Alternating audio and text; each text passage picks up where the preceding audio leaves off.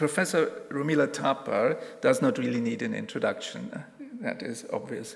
As author of more than 20 influential books and countless academic papers and essays, some of them on Max Weber, she's globally recognized as one of the most significant academics and public intellectuals of India today. After graduating at Punjab University, Romila Thapar was trained at SOAS. In 1955, she completed a BA honors degree, branch three with ancient Indian history. And in 1958, she was awarded a PhD for her work on Ashoka and the decline of the Mauryas, published in 1961, which was supervised by Professor A.L. Basham. Her link with SOAS continued ever since. She taught for temporary periods in 1959 and 1967, gave many keynote lectures, and was made an honorary fellow of SOAS in 1992. She first taught at Delhi University from 1963, but spent the longest time at Jawaharlal Nehru University in New Delhi, where she was involved in the creation of the Center for Historical Studies in 1971 when the university was founded. She's currently Professor Emerita of History at the JNU. Professor Thapar was elected President of the Indian History Congress in 1983, corresponding Fellow of the British Academy in 1999, and was awarded the Kluge Prize by the Library of Congress in the USA in 2008. These are just a, a few of the many, many honors and uh, achievements. Her work was, has been in ancient Indian history, in the historiographical writing in early India, and in the way the Indian present uses the past. It is a great honor that Professor Thapar agreed to accept our invitation to give the keynote lecture of our conference at the occasion of the double 100th anniversary celebrations of SOAS and of Max Weber's study on Hinduism and Buddhism. I'm delighted to welcome her on behalf of us all.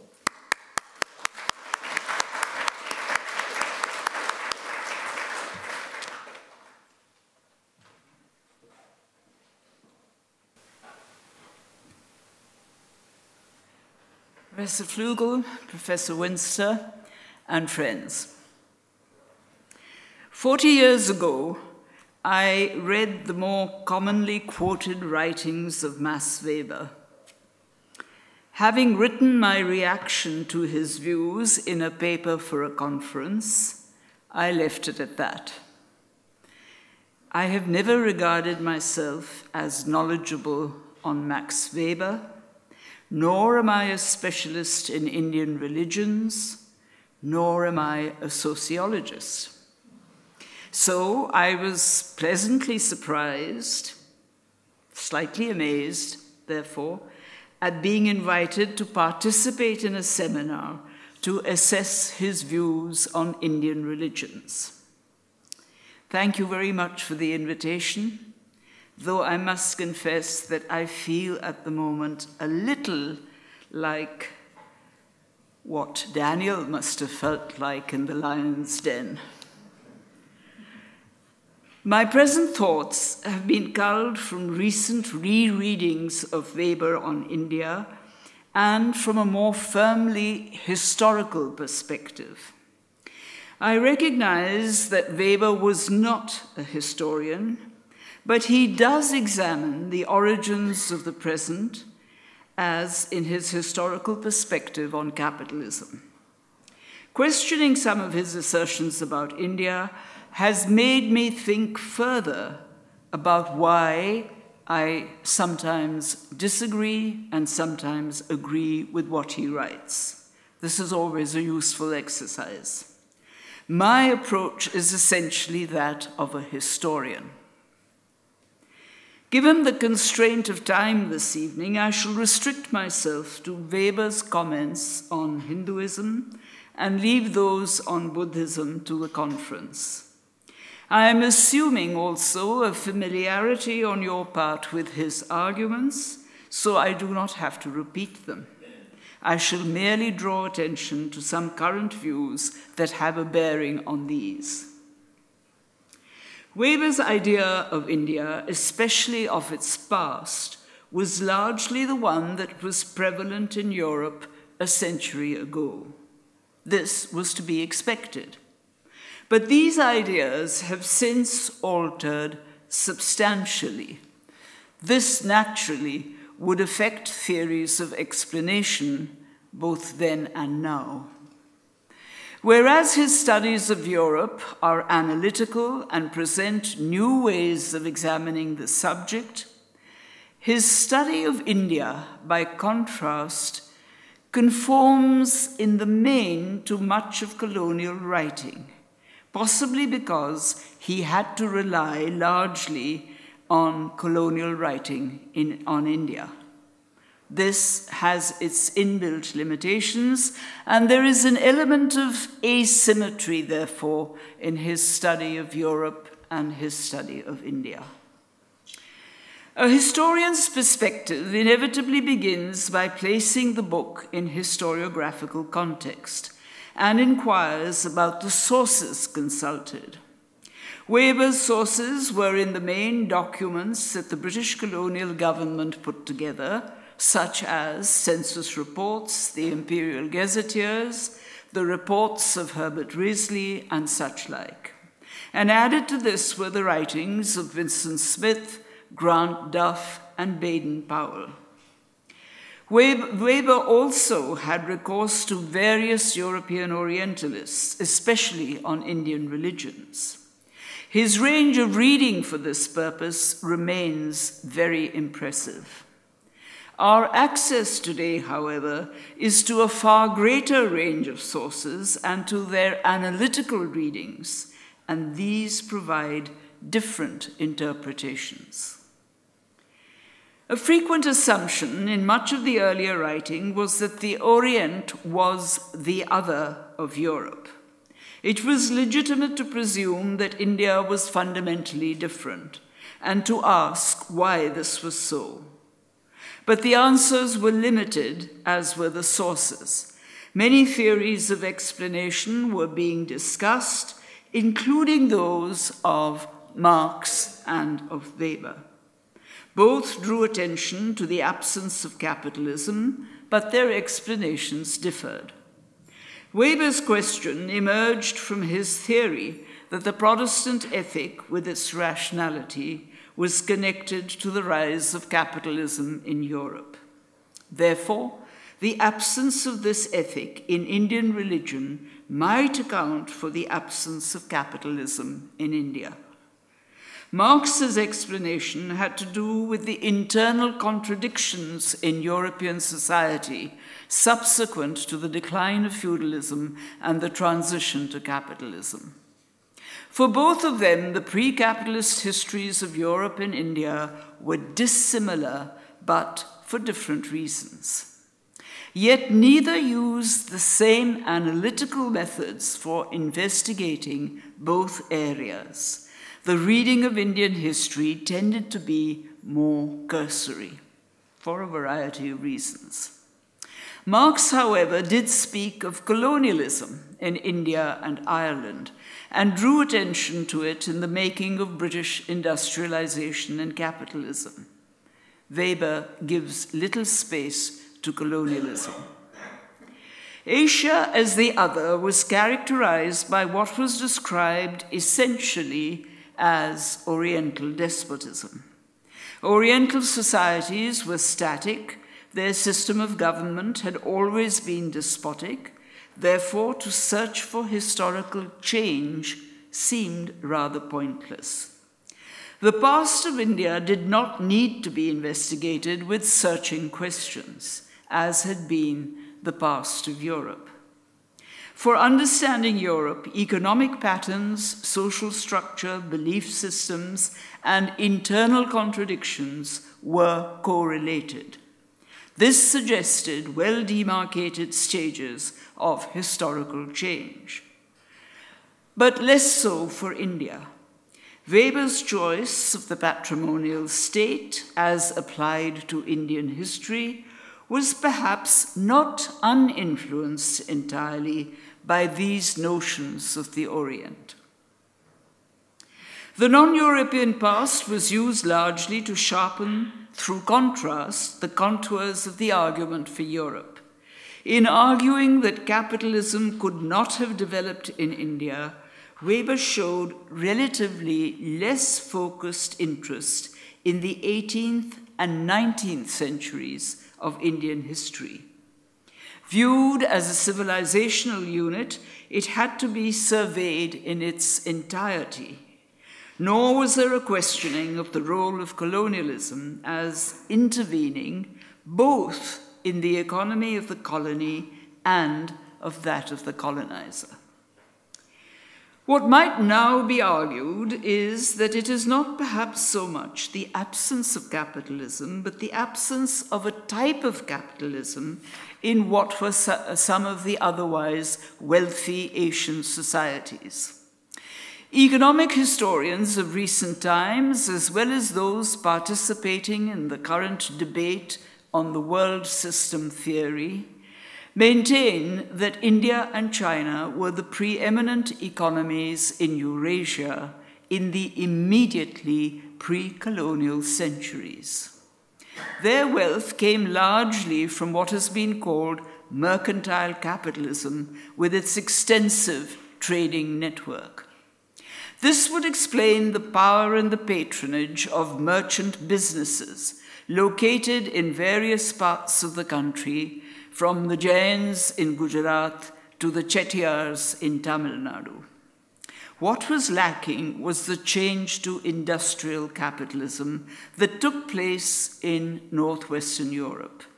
In this, many factors played a role, not least that much of southern Asia had been drawn into European colonialism during these centuries. Apart from all this, Weber's approach to Hinduism and Buddhism also drew in part from the prevailing concept of the world being divided into civilizations. These were viewed as distinct and segregated, defined by a specific territory, language, and religion, among other characteristics. For Indian civilization, the territory of British India was its location. It was articulated in Sanskrit and associated with Hinduism. Buddhism was less important, having been discovered later and not having survived in India to modern times. Islam was ignored despite its obvious presence.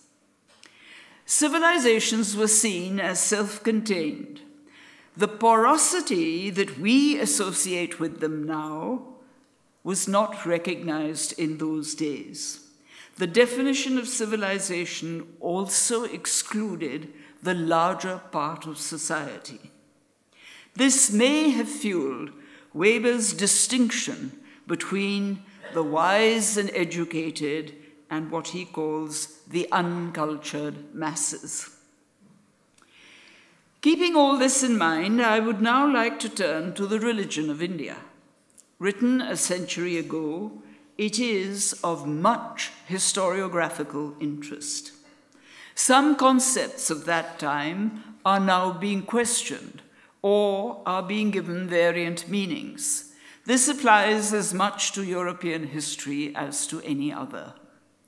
The key questions in a reading of the religion of India, it seems to me, are whether the descriptions of Indian religion and society, as projected by Weber, are still largely valid, and what are some of his ideas that might have been and could still be insightful.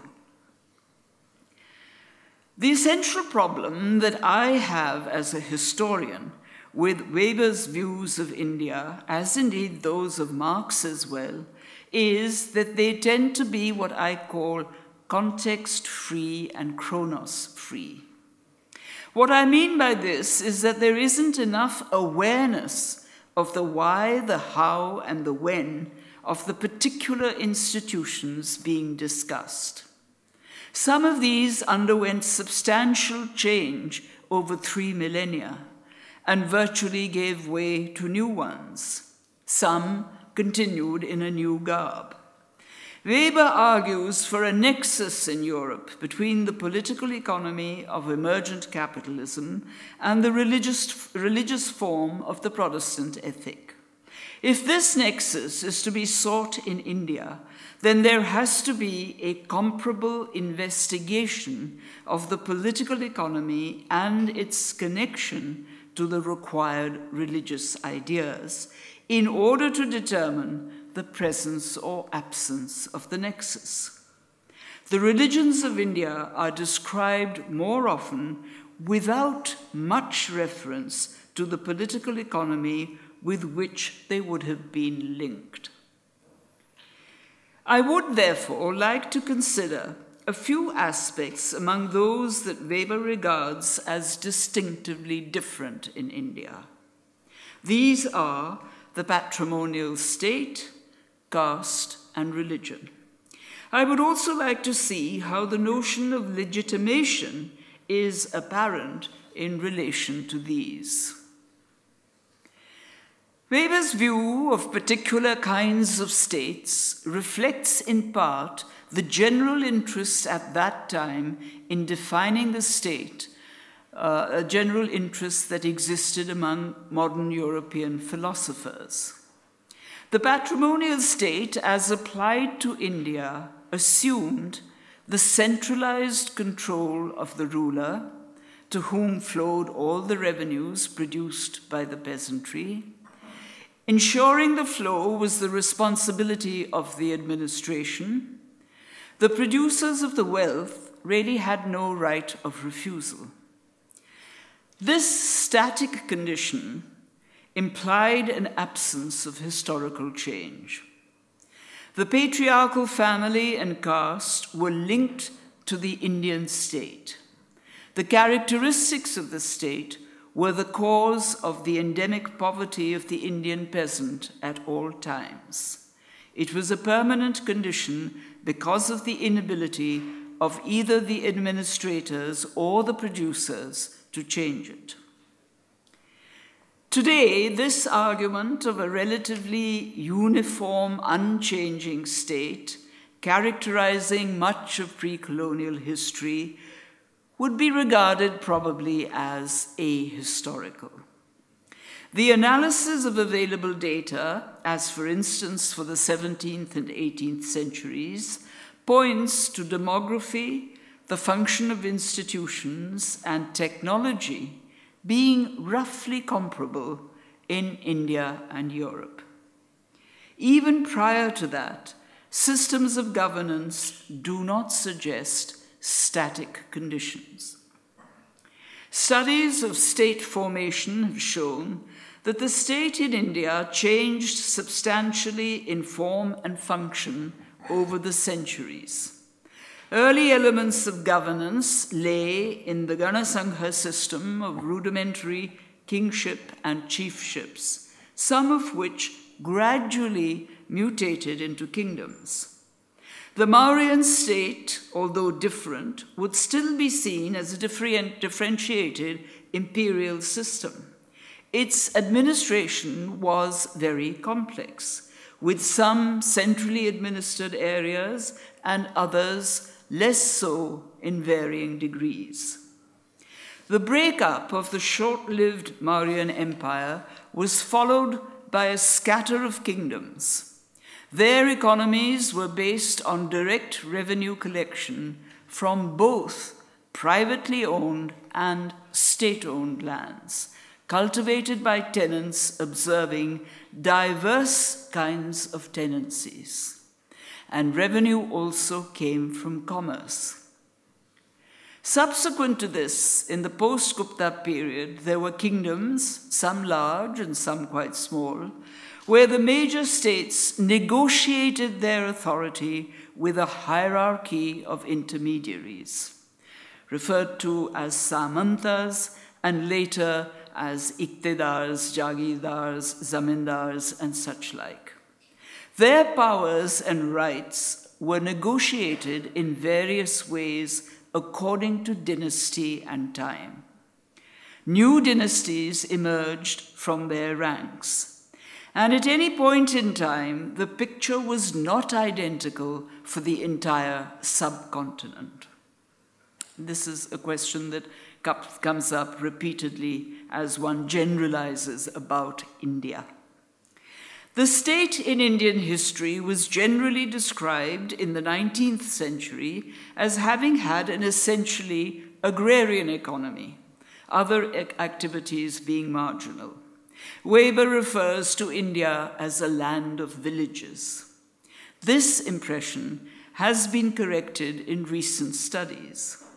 Income at different levels of the economic hierarchy also came from an extensive commerce, both overland and maritime. This increased noticeably from the early second millennium AD with a growth in urbanization. The administration of cities hosting artisanal production, markets, and commerce obviously differed from the administration of areas where land revenue was primary. There was a striking expansion in the number and size of guilds handling this change. This also affected their relationship to urban centers and political power. The functioning of the patrimonial state in India was said to rely on physical force and the administration, both very closely controlled. The figures for the Nanda Maurya army are mentioned by historians like Vincent Smith. They came from Greek sources, and they are huge and probably exaggerated to justify Alexander's decision to discontinue his campaign. The numbers also vary fairly enormously from text to text, making them somewhat doubtful. More to the point, the economy even of the Mauryan state could not have financed such a large force. And apart from the regular army, contingents were recruited when required from various groups of mercenaries and from other resources such as the soldiers maintained by guilds. The peasants, it is said, were kept unarmed, but the local village heroes of post Mauryan times were well equipped. They defended their villages against cattle raiders and in local battles without the assistance of the king's army. These events are memorialized in a multitude of hero stones in many parts of the subcontinent. The patrimonial state assumes a small elite as recipients of the income produced by lower castes. However, we now know that the wealth was not siphoned off by the few, but actually financed the many hierarchies in the system as well. The producers of the wealth did not consist of single castes, but a range of castes with interlocked occupations. The culture of jatis more than varnas, conditioned by occupation and customary law, more, more often than not, uh, also determined their religious identity. To give greater weightage to Varna than to Jati in studying caste misses out on, on some facets of how Indian society functioned. The noticeably rational Arthashastra of Kautilya, some people say almost cynically rational, refers to the seven limbs of the state. The army and the administration were two among the seven.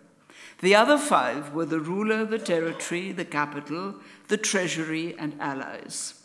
The ruler was required to integrate the functions of the seven, and that is what gave him central importance. But when one looks at the process of integration in itself, one realizes that this process was a curb on his power. There is also much evidence on the functioning of administration from detailed inscriptions of pre modern times. Issued by local administrators, they were inscribed in public places in public places. Among other useful aspects of local activity, some of these record major decisions regarding the powers and activities of civic office bearers. The decisions involve local communities, temple administrators, and officers of the state. The communities can be upper caste Brahmin communities with their own privileges or wider communities of other occupational castes. The concerns refer to a number of activities, including participation in various bodies of administration and particularly bodies deciding on specific taxes. At least for the castes above the level of artisans and peasants, the system was not consistently oppressive. Nevertheless, there are occasional complaints against oppressive rulers. This resulted in peasants migrating to a neighboring kingdom, a reaction much dreaded by rulers, we are told, since it resulted in declining revenue. The Indian peasantry, when disgruntled, is associated with migration rather than rebellion, possibly because land was more easily available. But there is evidence of rebellion, and this evidence generally refers to the Samantas, the intermediary groups, sometimes referred to as feudatories, but landowners nevertheless. There is the Kaivarta revolt in Bengal in the early second millennium AD, the Samantas leading the buffalo riding peasants against the king's forces. The aim was not only an objection to increased taxes, but also to claim new lands for cultivation. The argument in the debate today is was it a peasant revolt or a revolt by the feudatories? Another situation occurred in Kashmir and is described at length by Kalhana in his Rajatarangini.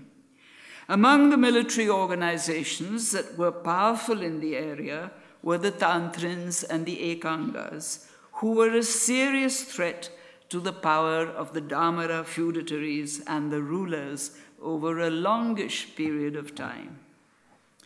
Such instances point to each of the three levels the producers, the intermediaries, and the state having to negotiate their powers vis a vis each other. I am not arguing that there was no exploitation. I am not arguing that there was oppression. This was a given in most pre modern societies. What is debatable is whether it was so severe as to support sustained despotism, as was one of the colonial views. And we have to remember, of course, that the colonial perspective also had a political agenda. Caste had a regional identity, but this did not restrict migrations. Learned Brahmins were in demand and were invited to settle in various parts of the subcontinent, legitimizing newly created kingdoms.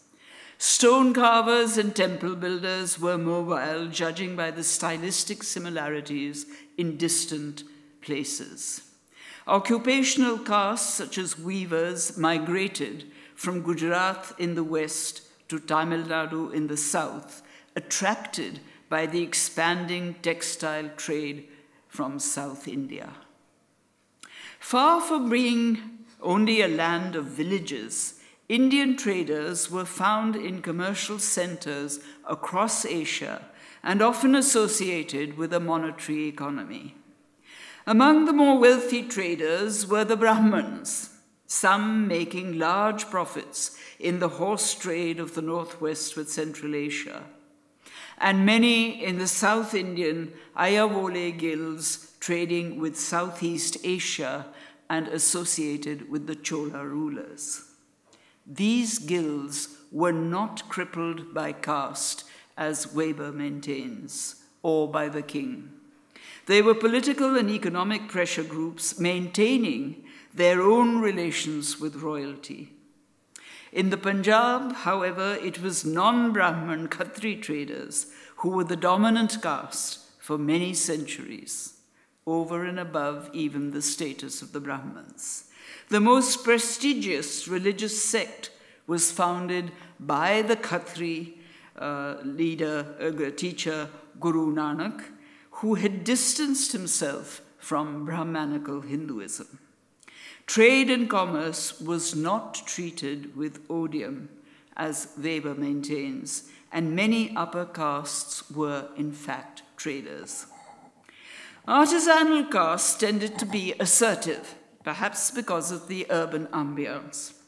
Production was central to the activities of such, such groups, since it was not limited to local exchange, but was frequently geared to the more extensive trade of distant markets. The bonds of belonging to a guild provided a firm identity. This often held even when the guild dispersed and its members took to other occupations, as happened with the famous silk weavers of Mandsaur. The bonding was useful when demands were made on the state.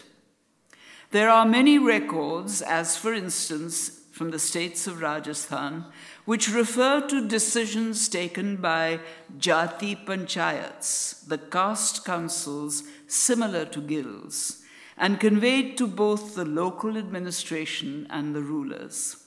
These could be for a remission of tax or a firm refusal to pay a newly imposed tax, or to adjudicate over disputes involving money and land transfers. Civil law virtually required the state to accept the decision and advice of the Jati Panchayat. The state had to agree to their terms. Artisanal production, controlled by merchants and guilds, was crucial to maintaining an ongoing economy, especially in the period just preceding colonialism.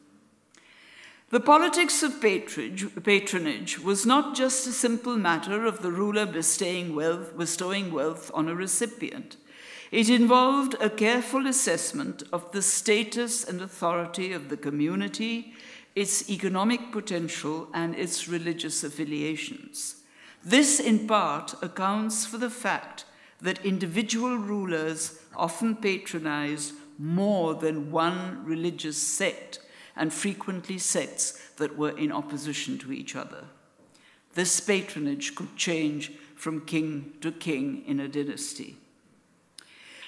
Weber's study of the religion of India rightly discusses both caste and religion. But the significant link between the two remains somewhat elusive or fails to get fully connected. Colonial definitions of caste tend to give more space to Varna than to Jati. Given the origin of Varna, it was assumed that the caste Hindus would take it as divinely sanctioned and unalterable. Besides, there was, there were, besides, where a large unchanging society is assumed, there was little need to recognize change in the functioning of caste. But change is recorded. The conversion of non caste to caste, registering its recruitment, is interestingly discussed by Weber.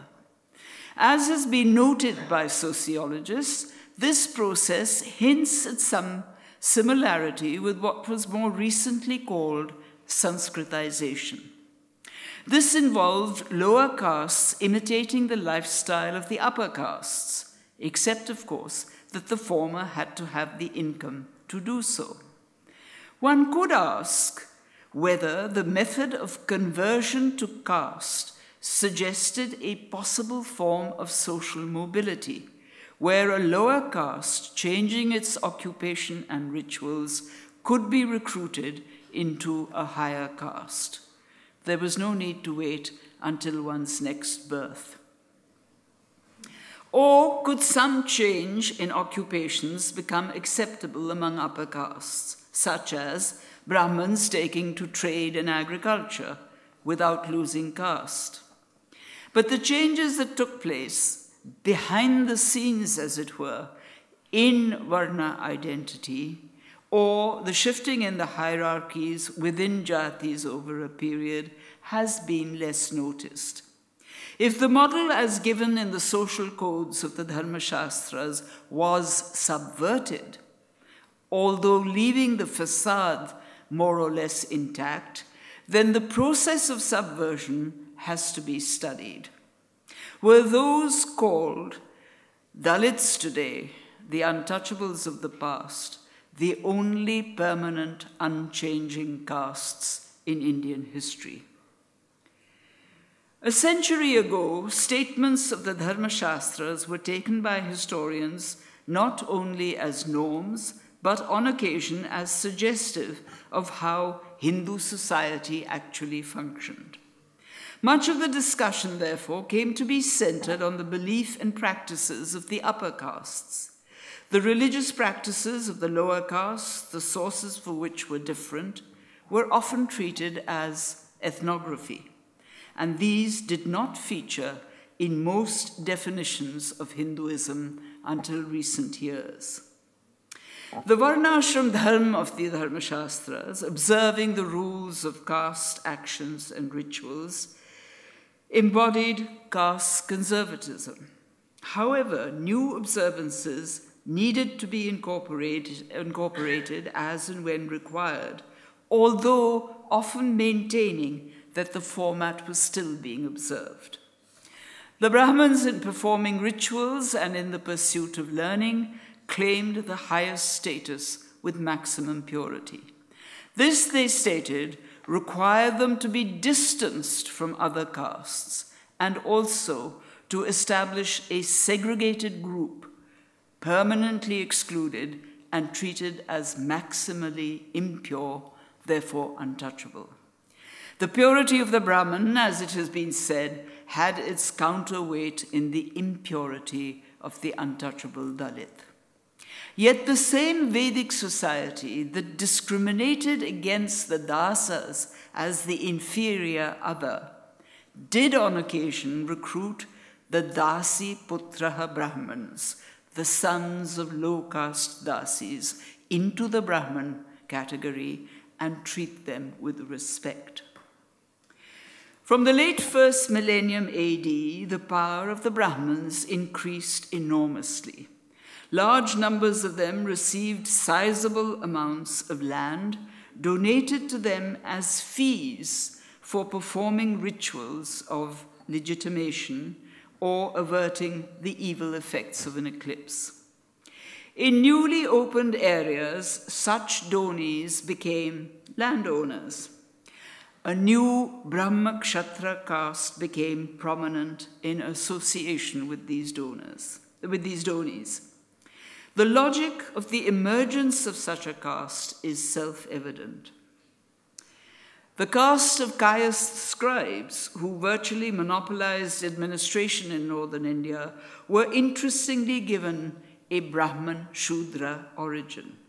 They performed, in fact, many Brahmanical activities other than conducting rituals. Rereading Weber on Indian religion has once again underlined some earlier questions in my mind. For Weber, the unifying feature of Hinduism was the theodicy of karma and sansar, uh, ac actions in this birth leading to rebirth and particular kinds of rebirth in the next life. How central this was to all Hindus of every caste remains debatable. Heroes aspire to go to heaven, taken there by apsaras, celestial maidens. The Shramana theodicies were naturally not identical to the Brahman. To pursue the theodicies of sect and caste might be more revealing than generalizing about Hinduism as a whole. A frequently discussed subject was renunciation. Some have argued that renunciation among both Hindus and Buddhists was life denying. However, Unlike asceticism, renunciation does not remove the person from society. It sets up an alternate society that the renouncer can join. Renouncers were not attempting a social revolution, but were providing an alternative way of life. Hinduism as a religion had a history of change, with perhaps a wider range of new forms than in other religions. And this is perhaps one of the reasons why it is regarded as extremely complex. Vedic Brahmanism is taken as a start subsequent to the Harappan, historically. Its imprint has been viewed as continuous, but mainly for the Brahman. Its authority was challenged by the Shramana religions, such as Buddhism, Jainism, and the Ajivakas. Dharma, translated as religion, came to be described as consisting of two streams, the Brahman and the Shraman. The former was largely Vedic Brahmanism based on the sanctity of the Vedas, belief in deities, the immortality of the soul, and the performance of sacrificial rituals. The Shramanas denied this, drawing upon reason, causality, and other factors. They were dismissed by the Brahmins as Nastika, non believers.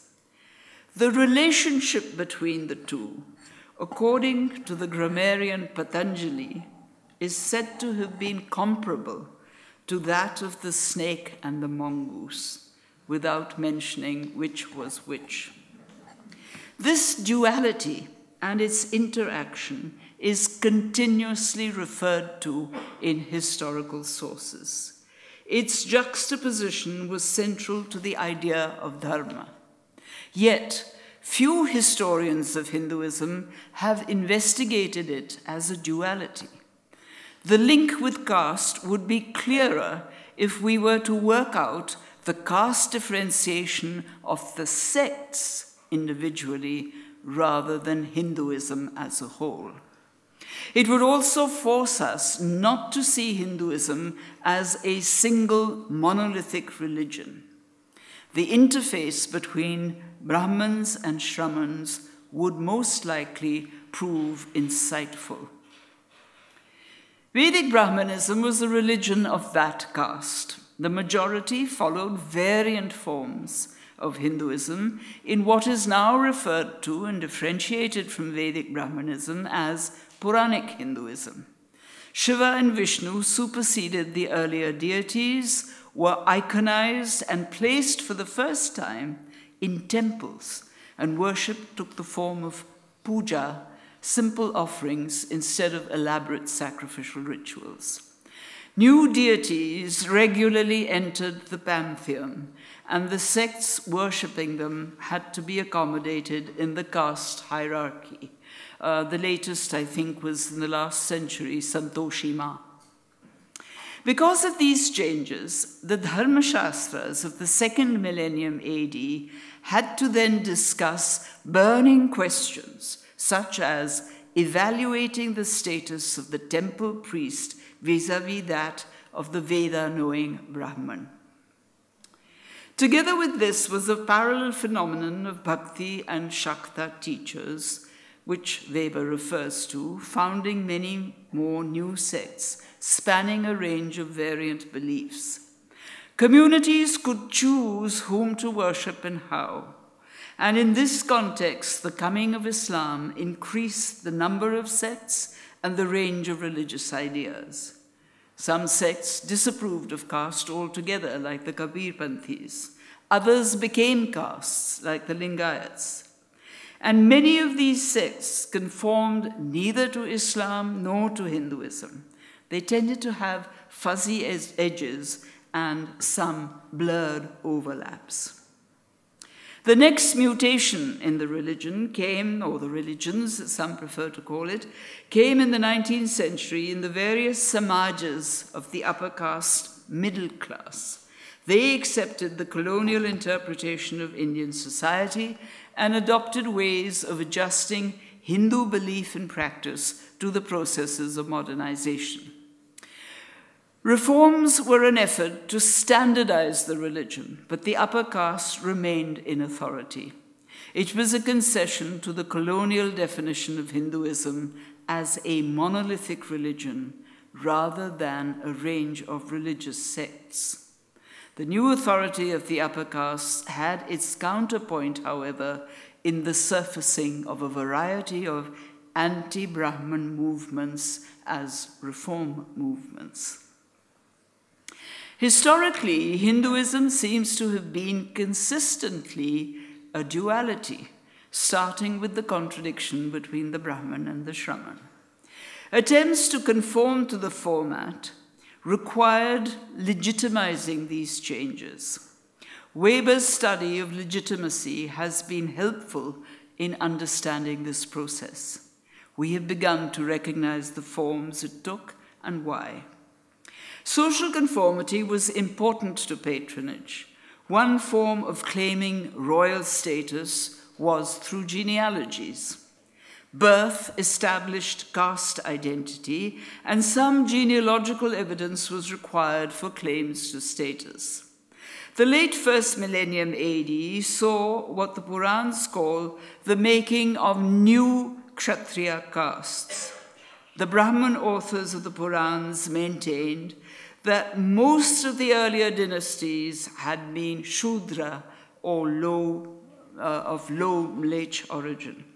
The social codes preferred that rulers should be Kshatriyas. So, many post Gupta rulers claimed Kshatriya status irrespective of their original caste. Vedic rituals became increasingly symbolic the Kshatriya ruler preferred supporting new rituals, such as being reborn from a golden womb, in order to claim status.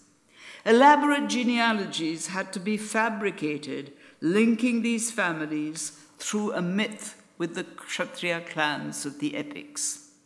A section in the inscriptions called Prashastis, eulogies of the dynasty and king, provided the approved caste origin and indicate one process of legitimation.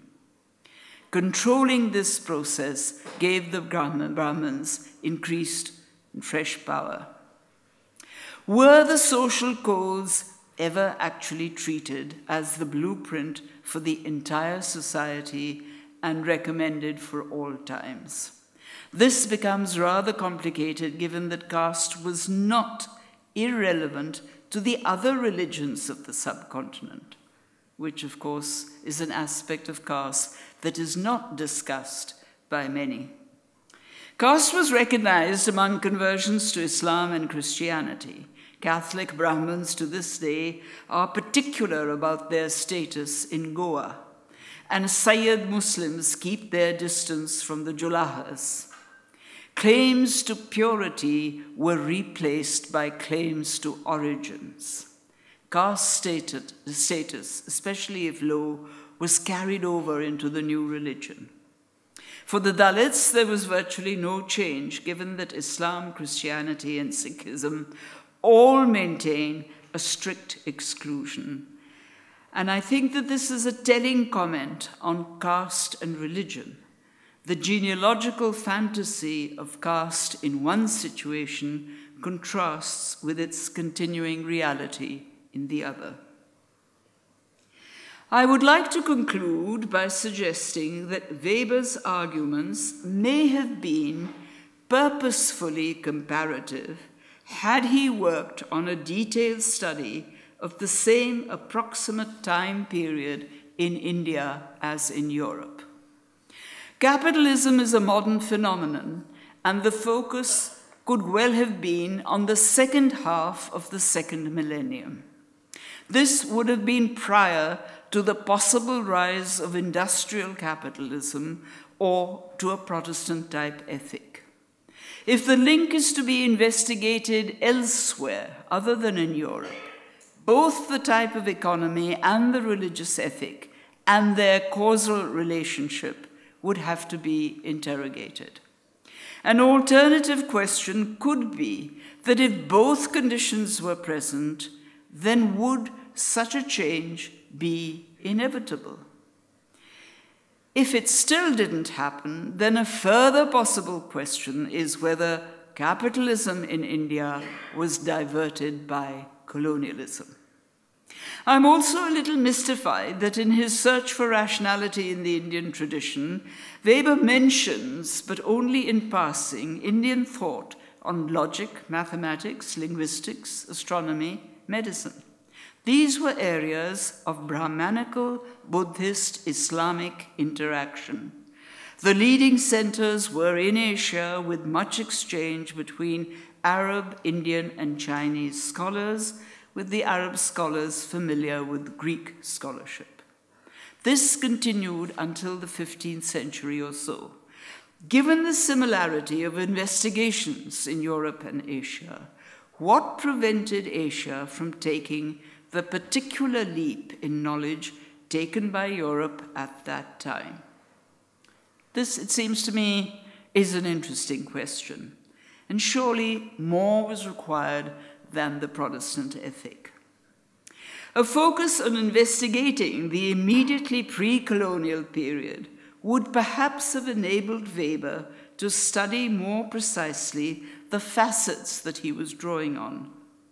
Were there elements of capitalism that might have been present, a subject uh, that is central to other debates on the transition to capitalism? Did colonialism obstruct the emergence of industrial capitalism? And what held back the strands of a Protestant type ethic from becoming more visible and active if it existed. This may have provided a more precise background to ascertaining the degree to which there could have been a Protestant ethic, as for instance amongst the Jains, who, according to Weber, had a potential. Or it might also have revealed significant variance in the Indian situation, pointing to alternative ways uh, to the capitalist path. Every society, after all, does not think and act in an identical way.